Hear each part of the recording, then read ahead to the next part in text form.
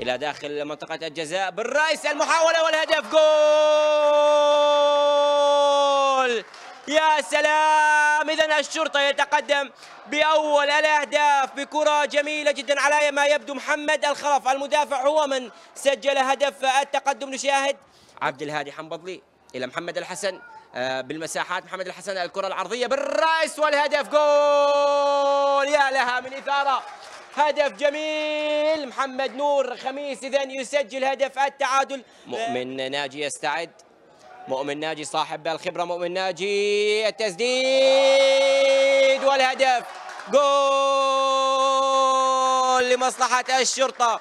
هدف يعادل الكثير والكثير بالنسبة لعناصر فريق الشرطة.